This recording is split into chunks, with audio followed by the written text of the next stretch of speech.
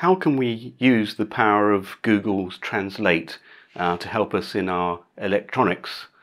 Well, often you may get sent uh, some instructions and the only version is in Chinese.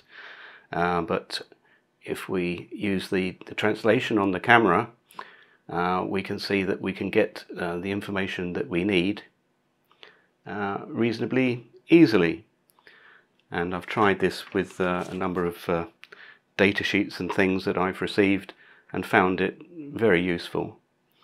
So we can uh, get a good idea of, of what's going on there from the from the text. And not only can we use it with uh, the paper documents, um, even with actual components. So here it is reasonably clear what the, the functions do, but again, we can get it to show the actual words which are written on the board. Internal resistance there, the current, the off voltage. So that's obviously incredibly useful. Even for silly things, you you may just be curious to know what that says at the top. I mean, it's a logic analyzer, so it's no surprise that it says logic analyzer. So I hope you found that little tip um, useful.